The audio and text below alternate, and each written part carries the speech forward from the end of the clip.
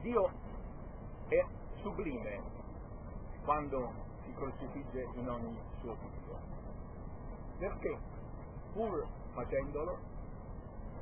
non perde proprio nulla della sua grandezza, anzi l'esalta. Infatti, quando un vero Signore è un vero Signore, immaginiamo che si debba passare per una porta e ci siano un gran Signore e un povero che non ha alcuna grandezza. Il gran Signore è veramente un gran Signore quando dà la precedenza al piccolo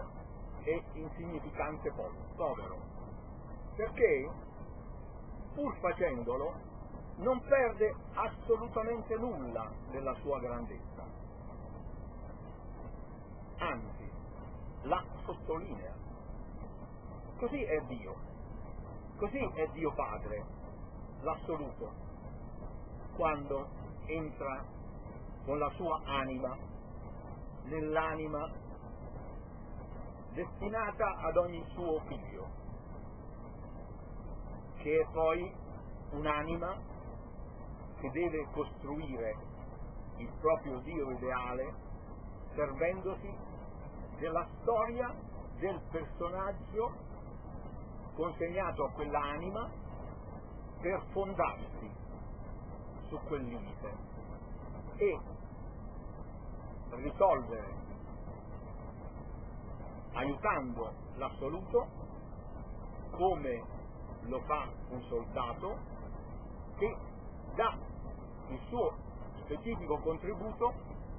realizzando la forza complessiva di un esercito. Così siamo noi. Ciascuno di noi partecipa con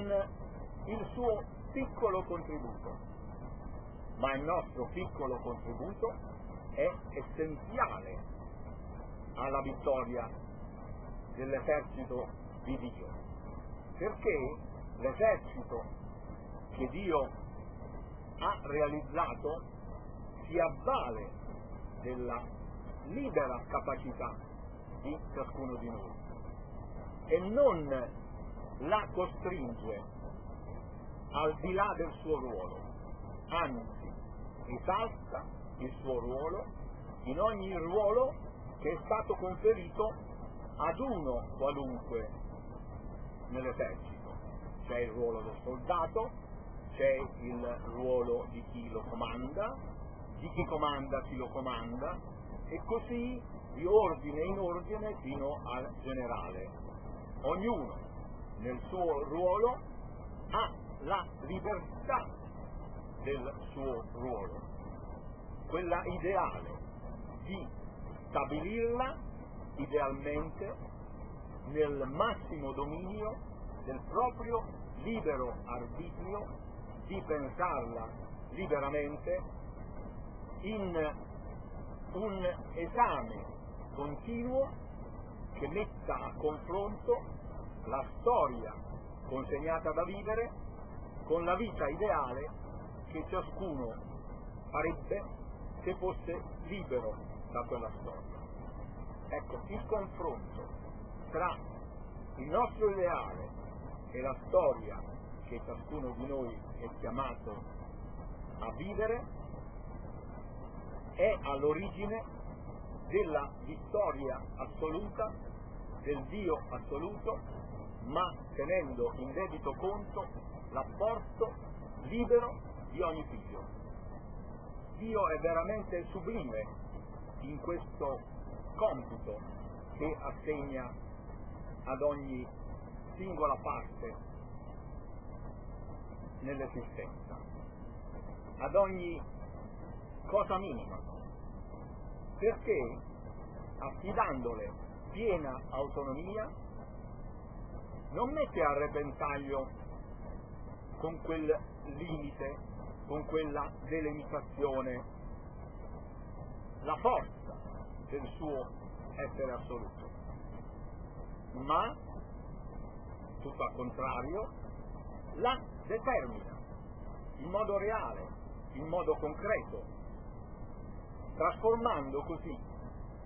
un qualcosa che è puramente in potenza in qualcos'altro che è in atto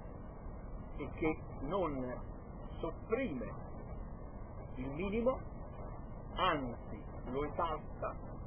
fino a farne la parte essenziale, strutturale di tutta una infinita costruzione che esalta il limite e nello stesso tempo lo sublima arrivando a sublimare quel Dio sublime che è posto al di là, oltre le singole cose di questa realtà.